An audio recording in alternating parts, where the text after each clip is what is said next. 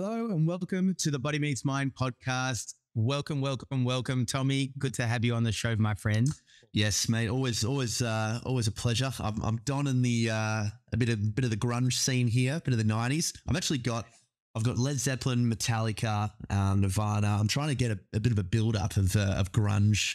Well, obviously Led, Led Zeppelin's not super grunge, but trying to get the '90s back, mate. The origins of grunge, though. Yes, the origins, The origins. the origins. but t- today we've got uh, a really, really special guest on the show. His name is Yachty or Jonathan Kingsley. I personally know him as Yachty. I went to school with him, and uh, he's been on an incredible journey. He's now a tremendous uh, academic with uh, quite quite a host of remarkable feats under his belt. Uh, Yachty, welcome to Body Meets Mind. Great to have you on the show, mate. Thanks, Paulie. Lovely to be here. I mean, we've known each other for a very, very long time. So I'm really happy to have a yarn today and um, talk about whatever, wherever you want to take me, and uh, we'll go from there. Great. It's great that you don't know where, where we're going because we don't either. um, no, it's going to be a great show, and we'd like to keep things nice and open and fluid. And um, you know, uh, just having you speak there just reminded me of your uh, incredible athletic prowess when you first came to Bialik College, our school as well. This guy was like an absolute jet. I mean, he was running uh, for representing state. He was an absolute bullet. I, I wasn't expecting go back there. I can't. I can't run like that anymore. Uh, and certainly not. I, it's it's lucky if I can get around the block now. Uh, but uh, yeah, no. Um, I remember those days. Uh, but you know, they're they're long gone now. The muscles off. But what is, what is interesting, and I, I just want to create a little bit of context here because you really have um, developed a career for yourself around academia and things that have become really, really important uh, to you. And I'll, we will kind of flesh that out uh, as we continue to talk. But the origins of when we knew each other uh, and we were going to skip uh, to school together, you know, sport was a really, really big identity for you. And like we were talking off camera, myself and you included, uh, you know, academia was not really, we didn't identify as, um, you know, bookworms, etc. So I'm really interested to know how that transition took place because I personally found high school quite challenging, and I, I feel like you you may have been in that boat as well. Yeah, no, I, I definitely um had my challenges during uh, primary school and high school. Uh, I stayed down in grade five because I couldn't keep up, and um I had a um speech, uh, well, an auditory impediment and also a speech impediment, which uh, slowed me down. And uh, led to frustrations with uh, basic stuff like reading and writing. Uh, and then it slowed me down. But I, I guess it, it, led to what then allowed me to grow.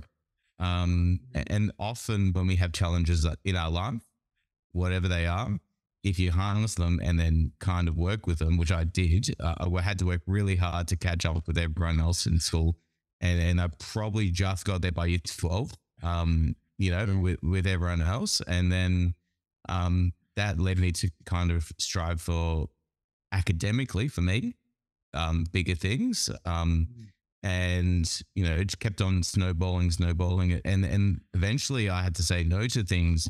You know, go. I, I ended up getting into medicine, which was a dream at one point, and then realized actually I was striving for other people's dreams, and my dream was teaching and doing big picture population health, public health stuff that I'll talk about with you, um, and trying to come up with solutions to big problems in society around health and well-being and um, psychological issues that people are going through and trying to deal with them at a, at a bigger level, uh, you know, and I just kept on pushing, pushing, pushing until I, I, reached the point I wanted to reach. And I think everyone can get mm. it.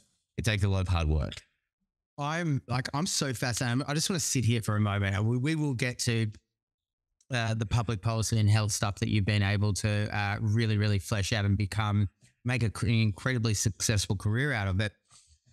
Just sitting internally on how you were able to bridge that gap between someone who was really struggling academically and having that identity shift and then like you said, you stepped you stepped into your confidence in year twelve, and then like exploding into this other completely unprecedented level of academia. Did you feel like like what was going on for you? Did you feel like you had a point to prove to others, to yourself? What was going on there? Yeah, so I, I've, I've definitely felt like I was always having to prove myself, and that proving myself finished when I I finally got into medicine. I was studying medicine. I was like, actually, I don't want to do this anymore. I don't need to prove anything to anyone anymore. Um, and I, I wanted forge my own path of my passion. So there was a lot of proving myself, um, and it was a lot of just kind of inbuilt, you know, um, always that catching up, catching up. Uh, uh, like even the way I used to write it in my books at school, I used to bend my paper so no one could see anything I was writing because there's a bit of a shame around it. So there was other things going on as well. It wasn't just proving myself; it was probably a shame that I, I wasn't as good as anyone else around. Mm.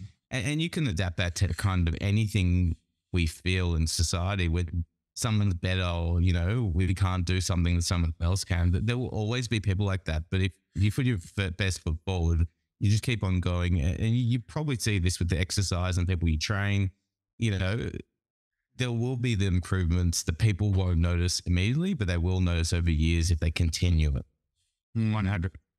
Yeah, fair. It's interesting, isn't it? It's really interesting. So the the the, the part that sticks out to me the most um, is that, and with, with only having met you, um, uh, over the, you know, so the past twenty minutes or so, it sounds like the point that you've got to now wasn't necessarily a place that you had always destined to to to get to. Did, what was the journey like? And, and the, the the area that I'm kind of trickling down to here is, you know, how do I find my passion is such a big topic, such a big question this day and age. And you get in all different facets. Doesn't matter if you're a holistic health coach, a psychologist, a counselor, whatever it is, an academic.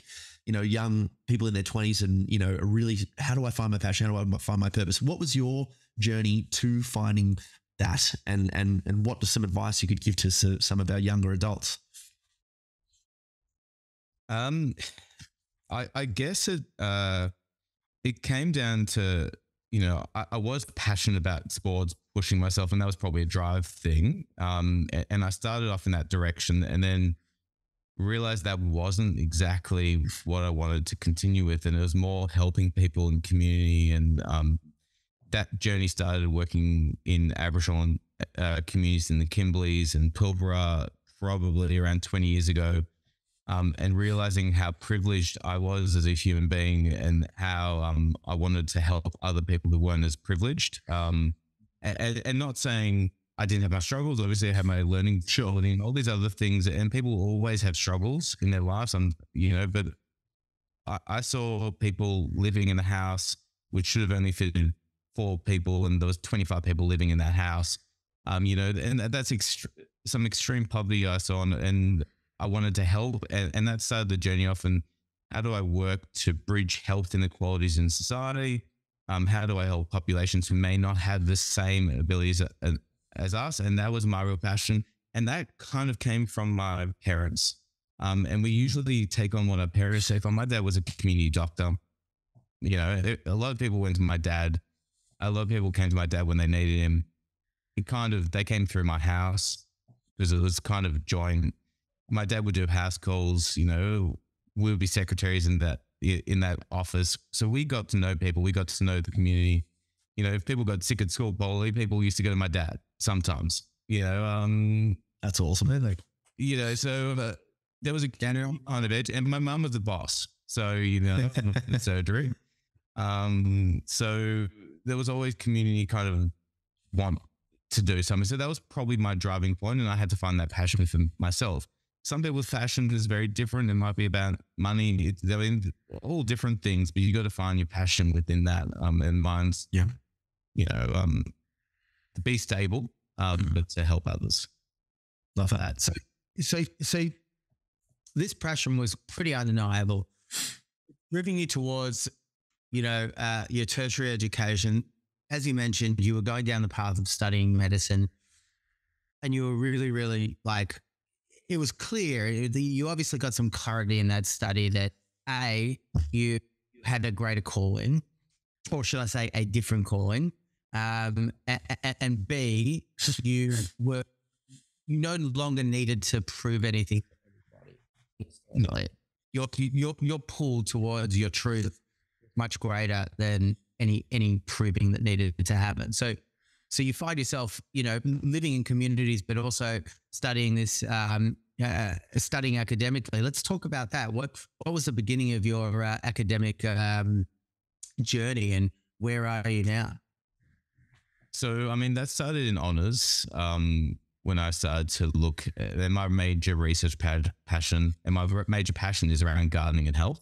Um, so I looked at community gardening and the health benefits of community gardening and um, how that improves people's health and well-being. And I did that as an honors project back in 2004. Um, and I became really close with one of the lecturers. Um, and I, and I loved that thing, but I didn't Port Melbourne, a very wealthy um, population in Port Melbourne. And I was like, I want to work somewhere doing something different and working with communities that may not have the same kind of um, uh, benefits we have. So then that it started that journey off. Started working as a cultural health researcher in the Kimberleys and had a fantastic uh, mentor, um, and Paulina, who's um, an- a professor now um, at Notre Dame in um, Broome. Uh, and she's also a traditional owner of uh, Nyikina people. Um, and she told me about culture and health. And that kind of made that made me realize the importance of our environment and nature to people's health and well-being. Um, so we can learn a lot from Indigenous people um, about connection to country. You would have- have heard about welcome to countries or acknowledgement to countries. Uh, you would have seen them um, on TV. So, you know, I, I started to immerse myself in that and started to realize it's a bigger thing of people connecting with nature, improving their health. And, and Paulie, I think you talked about this a little bit of getting outdoors, doing exercise. You know, it, it- it's just as basic as that. Like, you know, there are great benefits from just being outside, going for bushwalk, going for surf, whatever it is that, you know, go gardening, whatever it may be that will improve your health. And it started that academic kind of wants to know what the connection between nature and health started kind of in honors, kind of built up through our Aboriginal connection to country, and then kind of broaden that to everything of um, how, you know, even environmental destruction impacts our health and well-being. Mm, I love that. That's amazing. And it's so important in this day and age, you know. And I think, you know, even if you just think about, you know, one's life anecdotally, I, I know for me that I feel calmer, uh, more humble when I can see the stars at night because I, I can recognize the, the wonderful humility in my insignificance, you know, and, and how, and, and I, I've read some of the studies on how looking out at a, at a landscape can, can help reset some of the, the, the pain that's associated with being highly attentive on one specific thing. I, I think even as well, Johann Hari writes a lot about the, the social benefits of gardening for, for people overcoming drug and health addiction. So your your area would just go into so many interesting areas of research. I, I can't imagine. Yeah, and look, this isn't a new area at all. Like, I don't know if you've ever heard, heard of the theory biophilia, which is we've been hunter gatherers for ninety nine percent of human existence. Mm. Um, we that DNA is imprinted in our kind of systems, A- and there are actually studies starting to prove this that we need that. We need to be able to see the stars. We need to be able to connect with nature.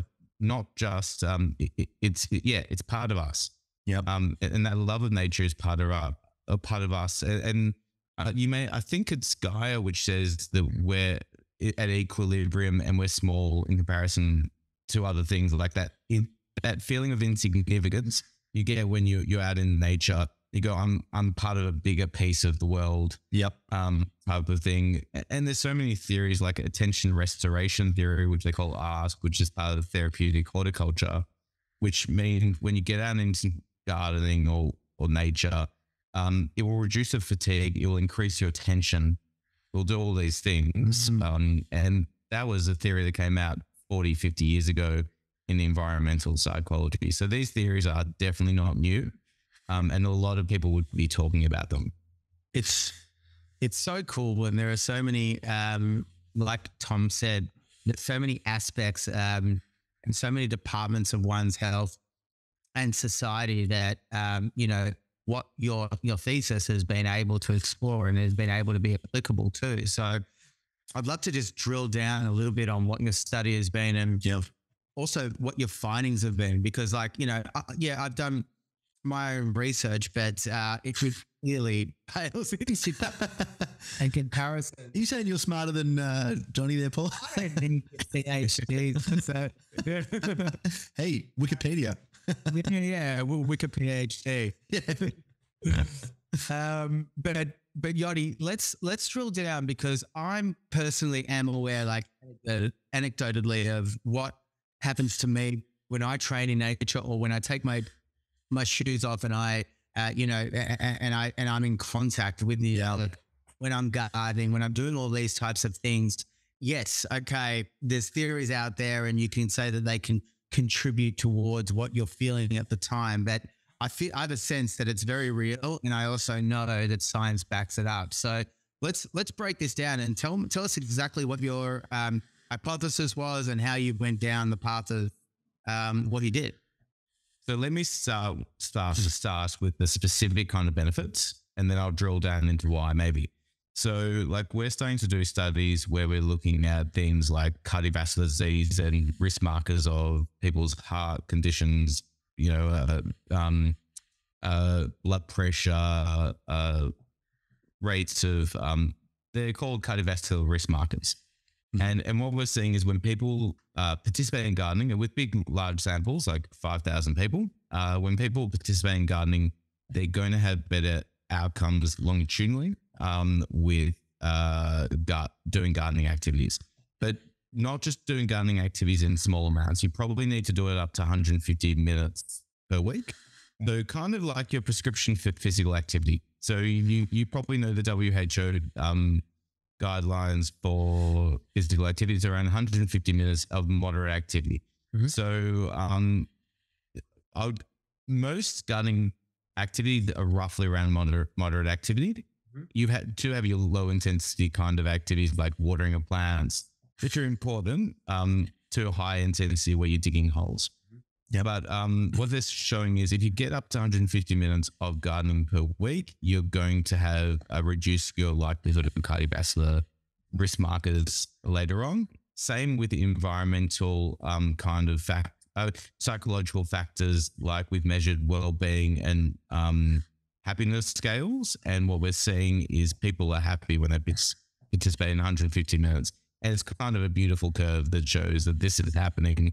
But there are certain populations that get these benefits more than others. So um, older adults seem to get these benefits more than younger adults. And there's good reason for that because we probably need to do a little bit more physical activity than someone who's 65. Um, but there's still are clear benefits of anyone doing gardening. Okay, so you, you getting barefoot and and getting out into the garden will have psychological and physical benefits. The, the data is telling us that, and even cognitive ability, as I talked about, in terms of reducing fatigue and, and stress levels. Um, and even we've done studies during COVID 19 of there was definite reduction of the stress people were getting when they were participating in gardening during the early stage of the lockdown. So we've got that data. Yodi, can I just, uh, I just want to uh, just dig into that just a moment. Yeah, on the bun. Yes, I was, I was going to. Um, Let me just flower this garden bed for a second here. Gotta throw a few seeds out there. Um, um, I wa- I wanted to uh, just see if there were any uh, direct correlation. You said that there was a direct correlation between the, the, the act of gardening and uh, longevity when it comes to cardiovascular health and um, your, your mental well being. But is there any uh, activity or uh, habit or anything that specifically can be drawn to these types of things? Do you know what I mean by that? Yeah, yeah, yeah. I've, I've got to be careful here. So also, Yeah, yeah, causality is really hard to prove, and especially for outdoor activities. Yeah. Um, so we believe it's happening, but there may be other factors going on. So people who have gardens are often um, wealthier, often um, who have more time to garden for leisure. Um, you know, so there may be other factors going on. We try to, um, in the scales, measure against those factors. Yep. Um, but causality is a really hard thing, and this probably the research isn't quite there to say exactly these gardening activities will get you these benefits, but we do know there is something going on. Yeah. Like the data is telling us there's something going on, but we haven't got that sophisticated to give you exact details Yeah, or causality. So I have to fix myself up there. It's not perfect. Yeah, yeah, course. Yep. Okay, Well, great. Yeah. Sorry, Paul. I was just going to say, in, what about then, Yachty? Do you know how much of the variance is associated with gardening specifically in terms of those benefits as opposed to just physical activity in general? So yeah, in one of our papers, we just had to redo our analysis to put in physical activity and see if it was. It seemed to the data was seeming to do exactly the same thing. Okay. So it was showing us the gardening was good no matter what if you added physical activity onto it. Yep. Um, but again, it it may be the people who are doing physical activity in gardening. So like there may be other variables going on. So you know, we we do know that people who can do physical activity for leisure are probably in the socioeconomic status have a you know higher socioeconomic status. Is that a big issue? Don't know. Yeah, but there's something definitely going on. Yeah. and again, you're probably seeing that with data with physical activity anyway. With the not telling you that you know, um, it's it's not a, it's not be the the bell isn't beautiful when you're talking about this, but we definitely do know something's going on. Yeah. Yeah. Physical activity. So I remember doing um, correlations at, at uni, and um, you know, you, can- you can you can do all of the, you can take all of these, uh, take all this data and do and run correla- correlation analyses, and then you've got these wonderful um, conclusions to draw from them, but without looking at the variance and and the effect size, you know, which is like, you know, how much how much do we know that this variable is specifically associated with this one. In other words, you know, um, oh, it's, isn't it interesting that uh, you know the rooster crows in in you know it does cockadoodle in the in the morning. Therefore, roosters cause the sun to rise. You know, it's like if you look at the the effect size, it's probably pretty small. It, it's it's a yeah it, it's a conundrum that everyone has and like it, it comes down to when you start this is why i want to going back to what we're talking about the big picture stuff yeah. There are so many things affecting our health both positive and negative but to work out any single one that's causing the most is really really difficult. And and that's why i love working in this space because you're trying to like deal with big big issue is that we'll never probably have an answer by the time, even if I do this for 40 years. yeah, yeah, Um, But you, you- you're dealing with the issues that, um, quite frankly, I couldn't imagine anything more important. Dealing with the the health and, well being of individuals and communities in a world where, you know, uh, you're, you're also creating. You, you've chosen a vehicle and a modality that um, really uh, counteracts a lot of the bombardment of technology that um, we're completely showering ourselves day to day. So that there's got to be some form of offset. You know, uh, what I was getting at previously when I asked the question was, you know, like we know with grounding, there's negative ions and there's a connection between, you know, the bottoms of our, of, of our feet. But to me, it just kind of makes sense that if you're in connection with nature more often, that's going to be an offset to the man-made technology that we that we completely bombard ourselves with nowadays. Yeah, it, it, it- that, that's definitely, it, is the circuit breaker. And we saw that during the COVID 19 research. Like the time people had at home to then go outside and do gardening, they, they're, you know, people weren't just sitting in front of the TV. They were actually doing things that were probably really worthwhile for themselves.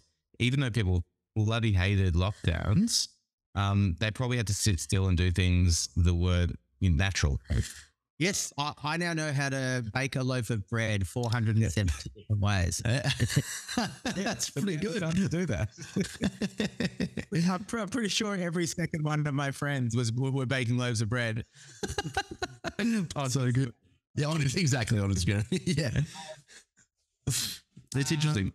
But uh, uh, what, sorry, I wanted to talk about um, how the world has seen, you know, how the world has treated the the question of um, the environment uh, over the last twenty years since you've been heavily researching it.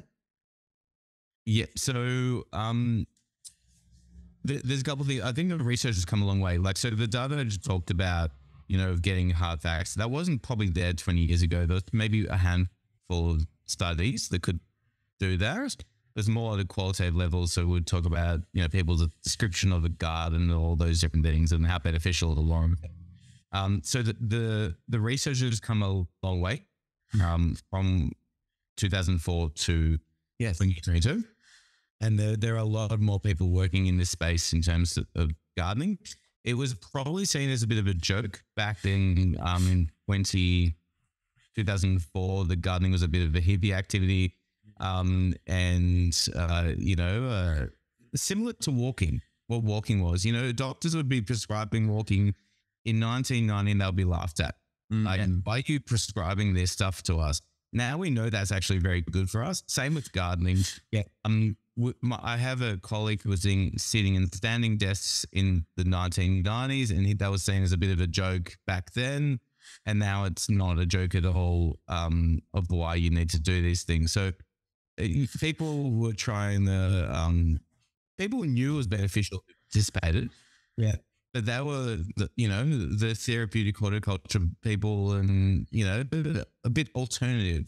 Mm, Um, as was walking, you know, people who used to do bushwalking as a kind of activity back in the 90s, it was a bit of a hobby thing, whereas now we know it's good for your health. Yeah. Hundred percent. So No. Things have progressed in, a lot, I think, um, in that time. I think one of the reasons why it, it was probably seen as a bit of a hippie thing was because one of the really interesting um, externalities to come out of the um, the psychedelic movement in the '60s was that all of the hippies became very, very environmentally conscious as a kind of um, like I said, an, externality of taking these psychedelic substances. Not only were they much more empathetic and connected to to self and other, they were also much more connected to the environment.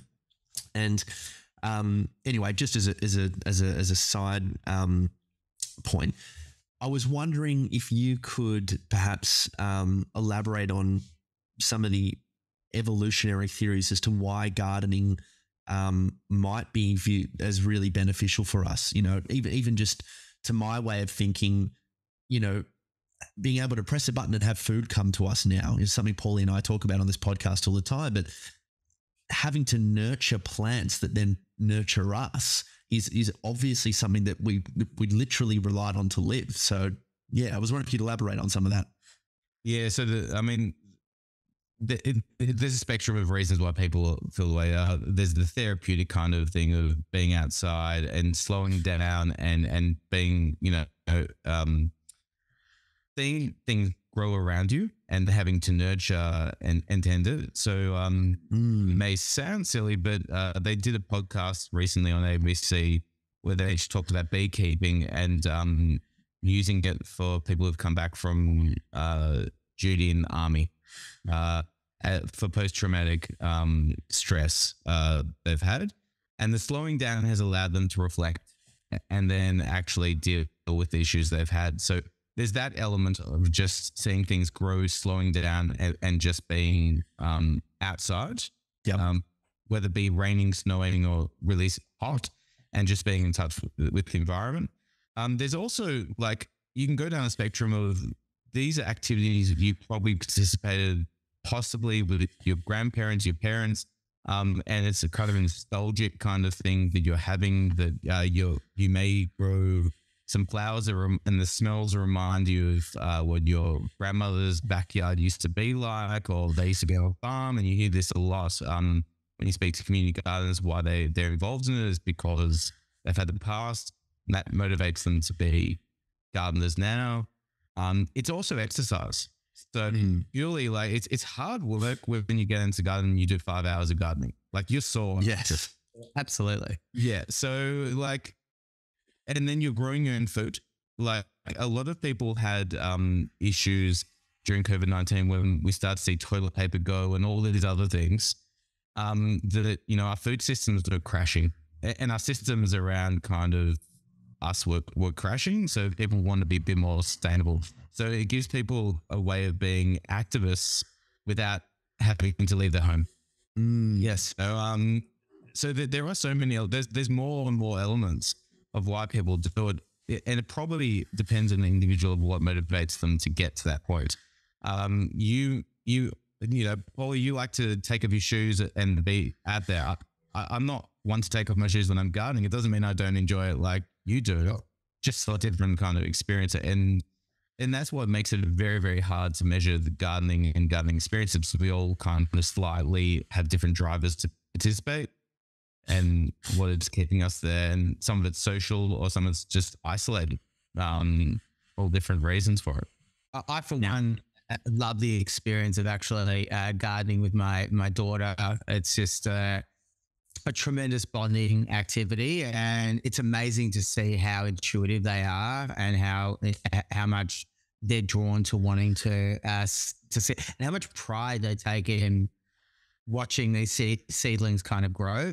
Um, and intuitively understanding and knowing that this is kind of the circle of life in the agricultural space. Mm. It's pretty special to watch. And I take tremendous pride in it as well. It's like, you know, when I get, when, when someone comes around to my place, I'm like, check out my veggies. Yeah. Eh, eh, eh, yeah. It, it, uh, you know, I do that too. Like I, I, I take hundreds of pictures of my, my tomatoes. There's a pride around it, like from last summer.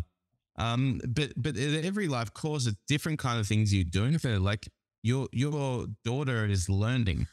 Yes. Um, whereas you probably have already done the learning. You're kind of you're doing mastery or other things with it that um and pride and empowerment for you. Where it's probably empowerment for your daughter, but at a different level of um you know for the first time growing your own seedling. You've done that for a while. Yes, uh, it's uh, it's amazing.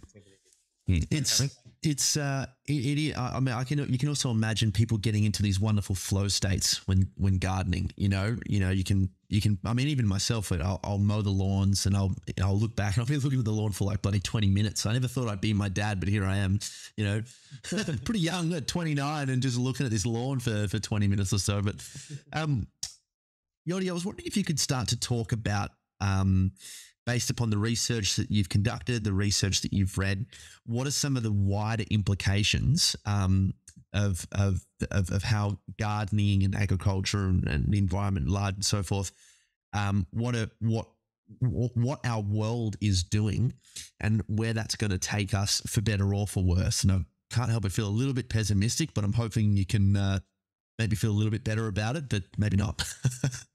well, uh, I, I wrote a, a, paper about this of um, urban agriculture, so gardening and changing the way we grow things. Um, you know, uh, you talk about mowing the lawn. Maybe it's about putting in native plants over that. Like, and there's a whole learning that has to go on with this. Um, but uh, urban agriculture is a nature-based solution to a lot of the issues we're facing. We have, you have nature strips, uh, which are underutilized currently across Australia, Australian cities. Okay, you you don't have to grow fruit there, but you can put in flowers to, you know, bees could then pollinate other you know gardens. Um, there, I think from memory, there's at least uh, thirty percent of cities which can be growing much better. Mm-hmm. Um, you know, there's space. Uh, so you have an ability to um, turn your nature strips into something pretty amazing. Uh, you so there's there's a transition right there at, you know and that offsets water runoff uh, so it goes into the soil rather than going into the back into the sea. Um, and uh, you know you have a whole bunch of other things. You can grow trees when you know there's there's a whole bunch of different things you can grow fruit. And it makes no sense to me that a lot of people in Melbourne have lemon trees you know and they're not sharing them yeah, like there's a whole network of people who can come together and grow communities here if we really want to share food, a whole bunch of other things. But I, I guess that takes communities shifting the way they are. Yeah. Um. So yeah, I'm pessimistic about kind of what's going on in the world in terms of environmental change. Uh, yes, you are. Uh, but you know there are solutions right outside your door. Mm, that's true. You know, you you can change. I mean, my whole street is just grass with a couple of trees smattered in between it. Like it's underutilization of uh, the environment completely. And obviously, there are issues around, um, the soil might not be perfect, um, but yet that's why you put in flowers and um, native plants. Um, so that's one thing. Then you can grow your own food, um, sharing, bring communities together. But you know, there, there's all these kind of um, forces going on. So we say, you know, build do more gardening, but what we're currently doing, we have to do is um, gentrification. Mhm. Uh, and that means in, in my area where, where I live, it's like townhouses over houses. So you, you have less space to garden in. Um, there is a need for that because there's not enough space for people. So you have all these forces going on. And who has the right to make those calls? In the past, in Melbourne's probably developers who make the calls over um, people in community for community benefits. Um, but where should the line be drawn? Mhm. Um, eh, you know, and that, that's where I guess empowers people to make changes. Yes. Mhm. Um, and it would Mm, so can we, yeah, adapt it better? And I can imagine that um, being a researcher, you know, one might feel compelled to take a particular political stance because it, after you just you read enough research. One thing I love about so just for context, I'm doing a psychological science degree right now, um, and you know, the more you do do um, do the kind of uh, research that you're into, and obviously there's bias with all of that, but it it, it does compel you to start looking at the political uh, realm in particular areas. Um, do you do, do you does any of your work inform policymakers um, directly, or what, what, what's your part to play in that? I would hope so. It's very hard to. I mean, I've worked in government as well and NGOs. Um, so I know you- you're always trying to lobby to government.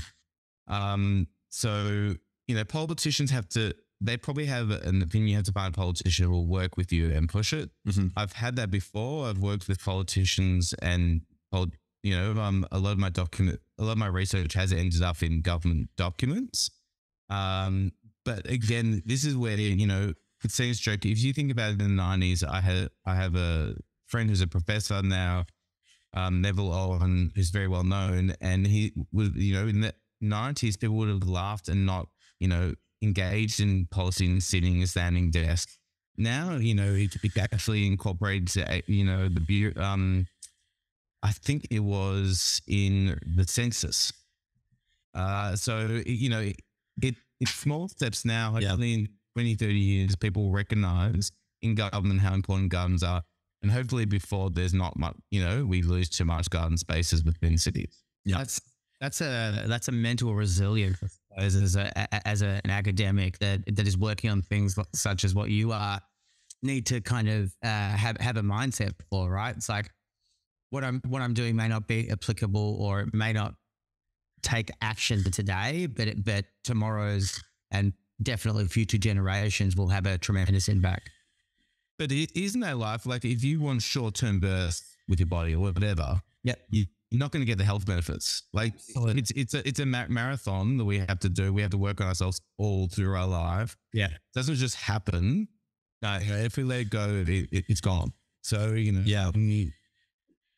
It, it's it's life. Yeah, it's like philosophically, if we, we, we draw that line between short term satisfaction, long term gratification, it's like we're we're cultivating a society that demands short term satisfaction, but that's not that's not the key to the success. I mean, to be able to have these, and success looks differently to everybody, you know, but the the idea of being able to actually achieve something requires that long term uh, strategy and plan that you that you're talking about. Yeah.